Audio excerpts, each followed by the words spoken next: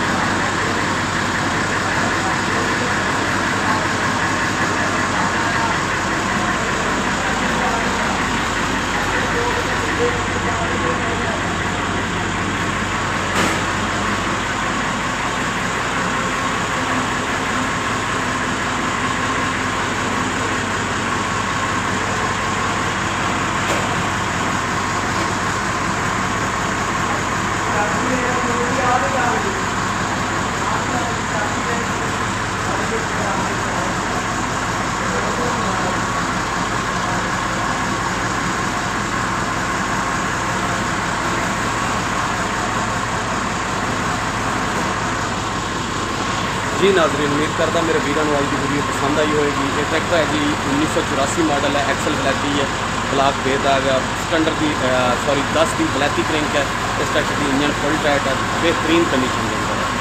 ਮਜ਼ੀਦ ਮਾਲੂਮਾਤ ਵਾਸਤੇ ਸਾਡੇ ਨਾਲ WhatsApp ਤੇ ਰਾਬਤਾ ਕਰ ਸਕਦੇ ਹੋ ਤੇ ਇਹਦੀ ਡਿਟੇਲ ਜਿਹੜੀ ਹੈ, ਉਹ ਤੁਹਾਨੂੰ ਇਨਸ਼ਾਅੱਲਾ ਮਜ਼ੀਦ ਫੋਨ ਤੇ ਤੁਹਾਨੂੰ ਅਸੀਂ ਦੇ ਸਕਦੇ ਹਾਂ।